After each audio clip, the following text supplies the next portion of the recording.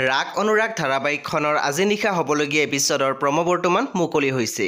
আজিৰ প্ৰমত বাৰু আমি কি দেখিবলৈ পাইছোঁ আহকচোন আমি অকণমান চাই লওঁ।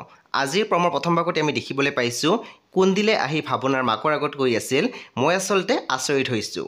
আপুনি আচলতে সঁচাকৈ ভাৱনাহঁতৰ মাক হয়নে নহয়?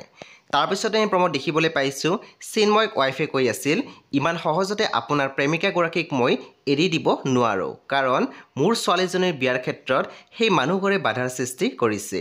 প্ৰমৰ একেবাৰে অন্তিম ভাগত আমি দেখিবলৈ পাইছোঁ দৰ্শনাই ভাৱনাক বুজাই আছিল অতীতত তই কি কৰিছিলি কি ভাবিছিলি আৰু তোৰ লগত কি ঘটিল সকলো স্মৃতিৰ বুকুত বিলীন কৰি দে।